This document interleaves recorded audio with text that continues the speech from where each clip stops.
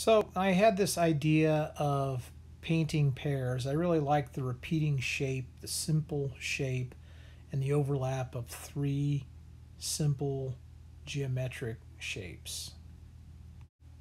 So um, I've been sketching out watercolors recently using a watercolor pencil.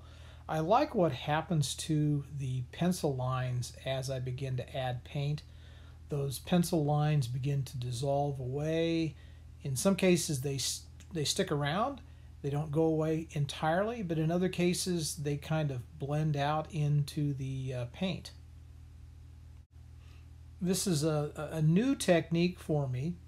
I've been using pen and adding watercolor over the top of those pen lines and um, using a pencil with watercolor and while that's a traditional approach, uh, using a, a, a watercolor pencil is something I've never done before.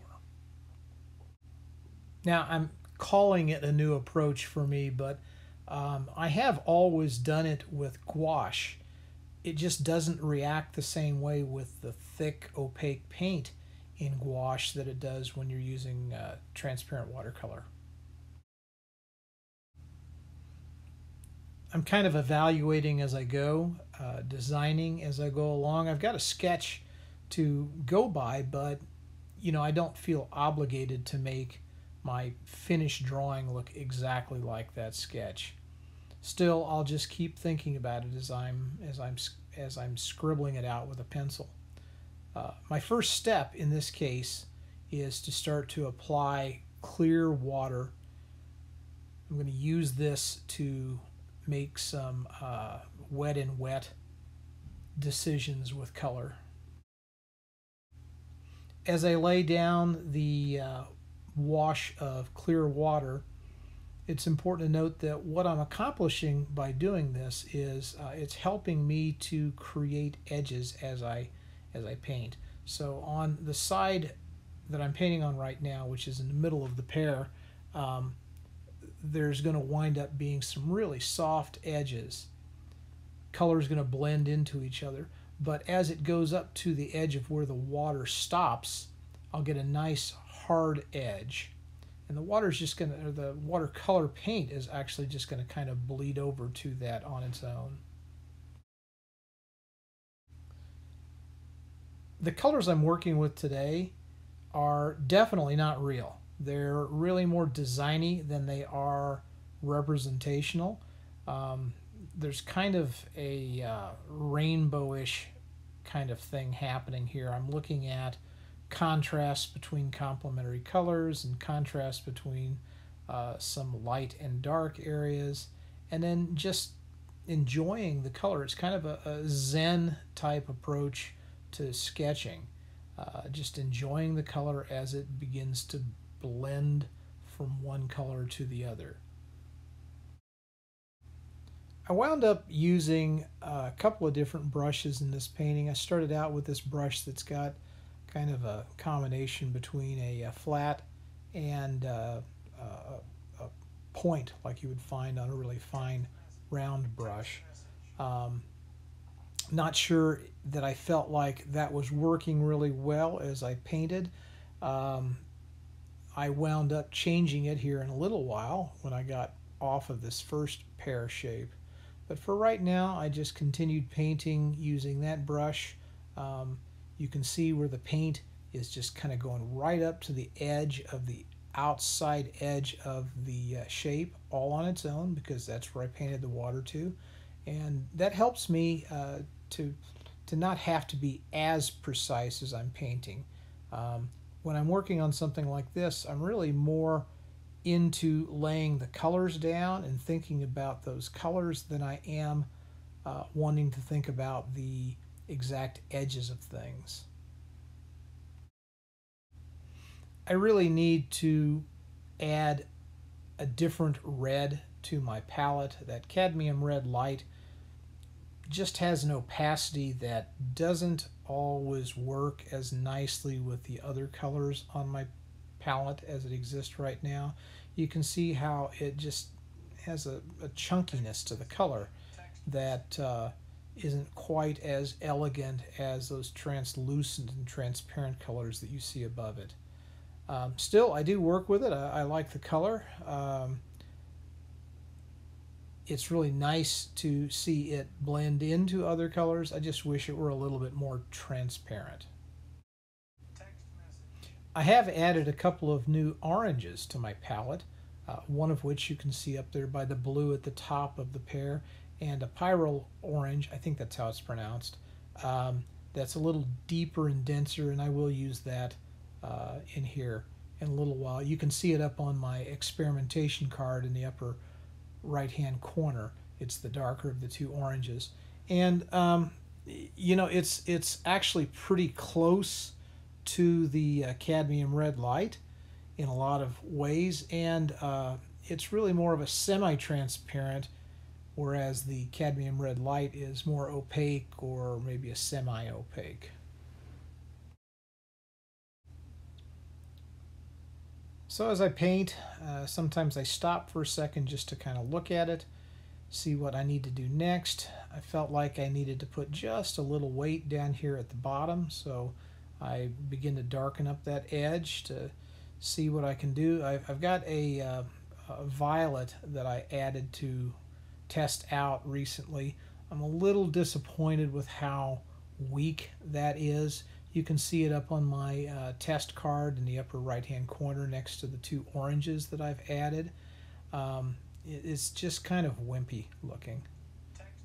Uh, over here on the second shape that I've begun, um, the water is not perfectly clean. That's okay uh, in this case because I want this to be a little bit darker shape to begin with. Uh, there's not going to be any white showing up in this. And uh, when the water is tinted a little bit, like you see it right now, uh, it, it, helps for the colors to hold together. So we, get a little bit of uh, color harmony by tinting that underneath. This blue turned out really nice. Um, it's a mixture of cobalt blue and ultramarine blue.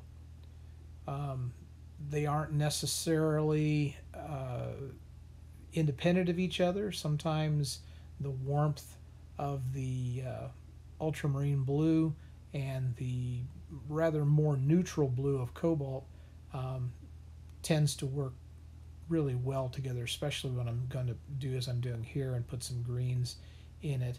I don't want these to be super intense greens. Uh, instead, I've, I've, kind of deadened them just a little bit.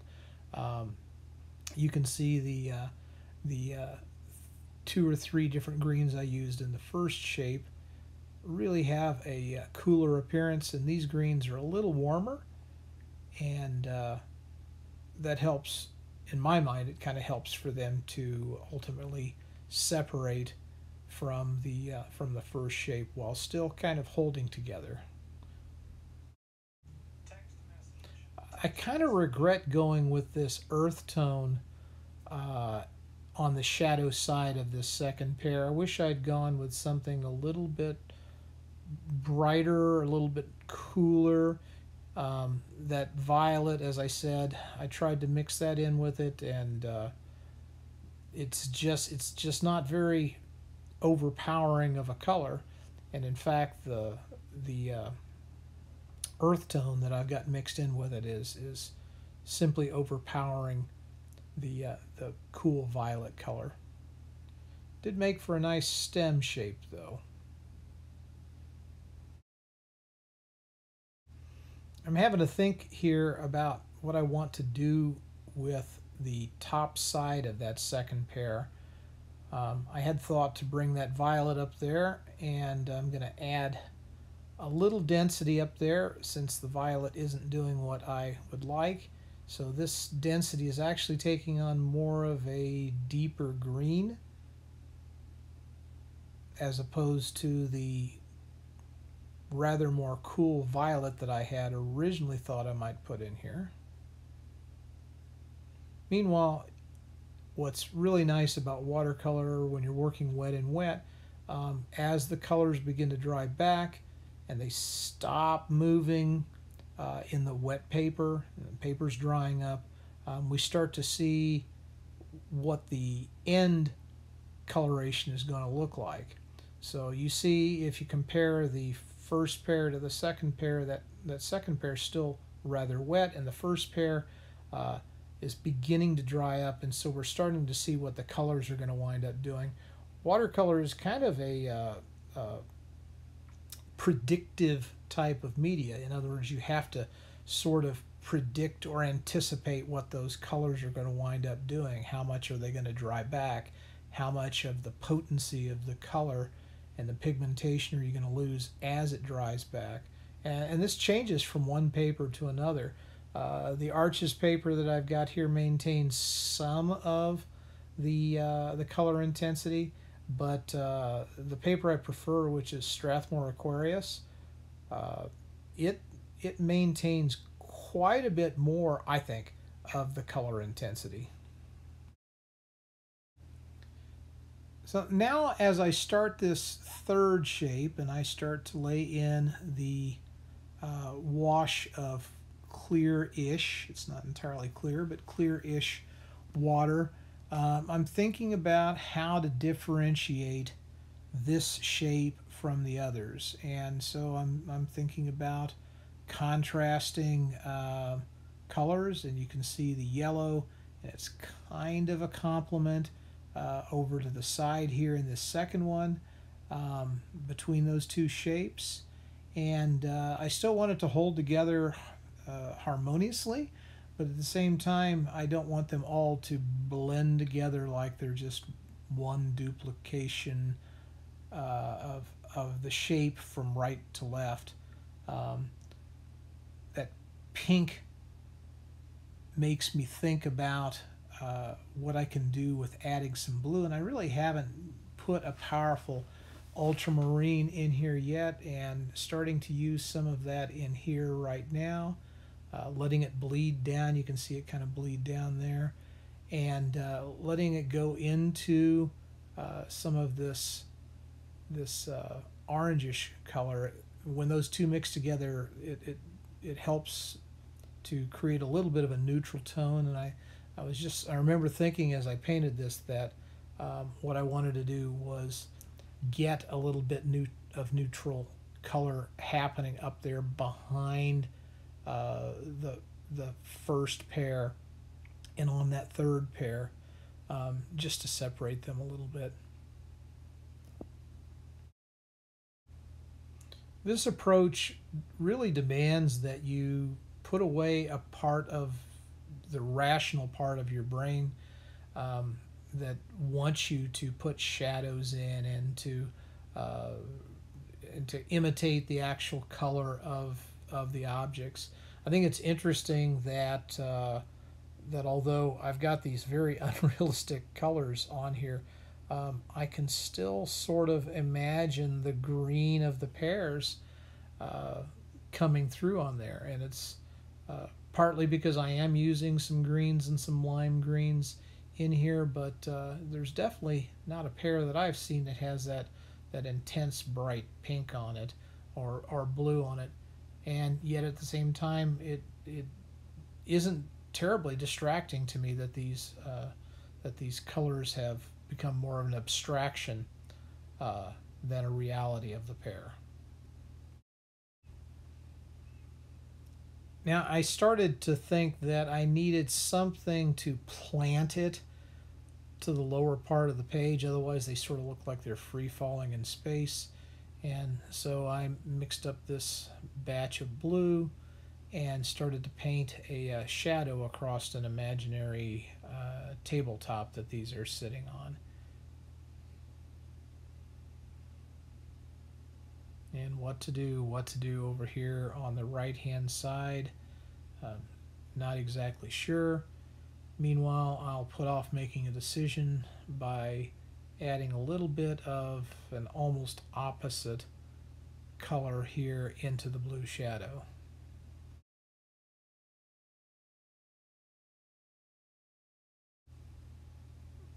And again, while I continue to put off making a decision about that other side, I go ahead and paint the stem in here and just think a little bit more. Pausing. Gosh, what am I going to do here? Well, I think I'll take some of this violet color and put it down here. See what that looks like. And maybe think about having the blue blend into it just a little bit.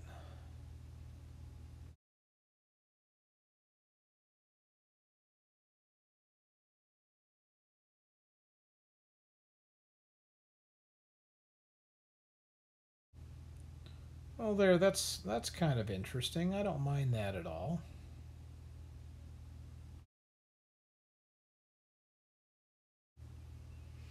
All right, well, so let's think about the background.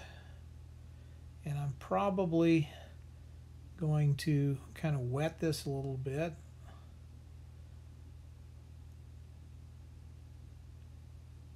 Get it nice and damp, get myself a nice edge here. And um, I do I do have to be careful about this. I don't want to accidentally hit some area that's still still pretty wet and uh, get an unexpected bleed of color coming over but to be completely honest it probably will happen as I work along here and uh, if it does I'm not gonna worry about it too much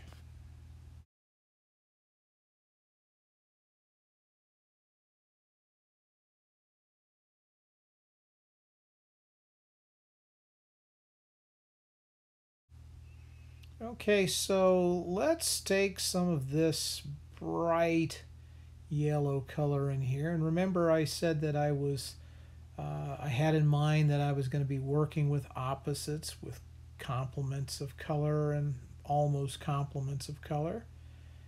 And uh, this yellow is almost an orange. In fact, uh, it, it actually is labeled an orange as much as I think of it as just a, a super intense yellowish color. It's more of a yellow orange, but um, I'm going to lay that down and now I'm picking up some of that pyrrole orange and laying it over on this other side and blending it together over here and I'm going to let the water do its do its job it'll eventually blend it out here as we go along I'm not too sure if I want to add any more of that to this little sketch. I think I'm just going to come in with the blue. And a bunch of this background is going to wind up being blue.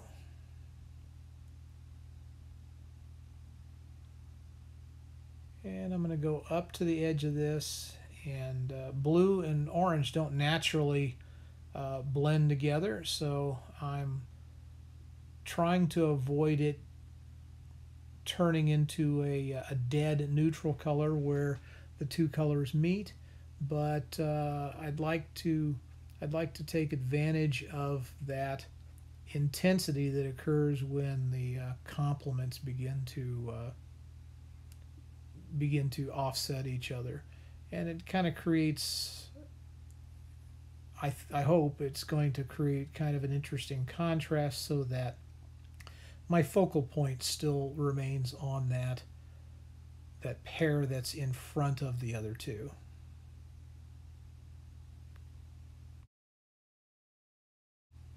I will readily admit that I get a little uh, antsy as I'm painting in large areas of color. Um, I almost never mix up enough. I have to continue to mix up new batches of color as I'm going along. Uh, it's something that I should be better about, and I'm not. Um, but it does give me the opportunity to think about what I'm doing as I uh, as I paint, and uh, adding a little bit of this lime yellow just kind of feels right. It, it helps me to keep the background from just simply being a, a mechanical flat color. And um, there's a hair I got to get off there. Sometimes it falls out of the brush. Uh, anyway, I'd like to avoid this having that mechanical kind of look, and I like there being a little bit of undulation, variation, as the color background goes down. Now, one thing I'm trying to keep in mind is that although I paint clear out here into what will ultimately be margin area, um, you know, I could change my mind about how I'm going to crop this later on. So I'm giving myself plenty of room in the uh, in the sketch to be able to make that that sort of adjustment later on. Um, but right now, in my mind, I'm going to be cropping this fairly tightly, and so I'm just kind of playing it better safe than sorry. Now look at this. I managed to get some paint into the middle of the of the back pear. I think that's going to come back and I'm going to have to do some more with that here in a little bit. Not going to focus on it too much, not going to worry about it too much. Perfection is the enemy of getting things done.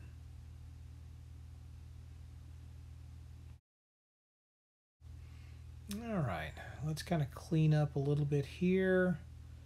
Add uh, a cleaner line and maybe just a little depth there. And doggone it, I got I, I hit that pear again. I am I'm definitely going to have to clean that up. That's going to bother me.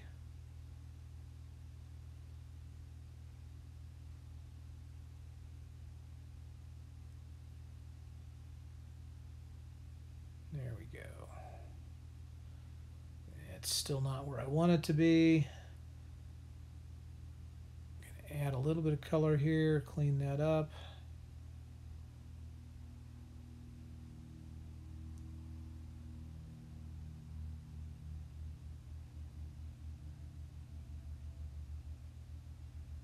All right.